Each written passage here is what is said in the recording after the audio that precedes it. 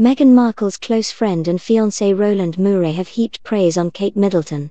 The London-based French designer recently praised the Princess of Wales while revealing that his latest collection was inspired by the powerful woman.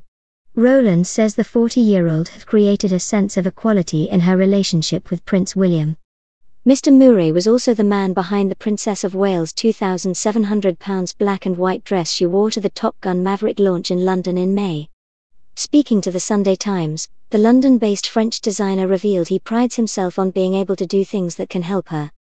He said, She represents the way a woman matures, the way a woman is not standing behind but on the side. The sense of equality she created, she was strong.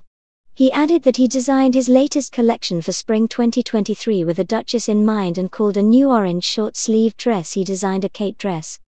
Mouret added, to create things where she feels protected at a time when the whole world is looking at her, I did a small part in protecting her. Kate was joined by Prince William at the Top Gear launch in May in London. The Duchess of Cambridge stepped out in a floor-length black dress, with a white scarf. But it was her earrings that caught everyone's attention. It has an off-the-shoulder neckline with a white band and a slim-fit silhouette that hugs the waist. The pleated hem falls to the floor and has an exposed back zip.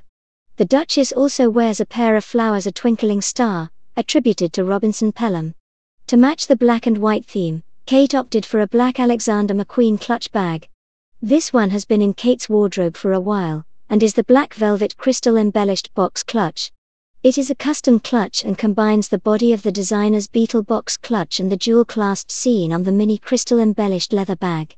On her feet, the Duchess opted to wear her Prada wavy cut heels again.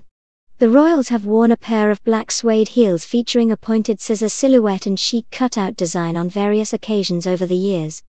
In terms of hairstyle and makeup, the Duchess opted for a straight 70s hairstyle, tucked behind her ears and loose in the look she's been wearing lately. She wore classic makeup, but with slightly darker eyes than usual.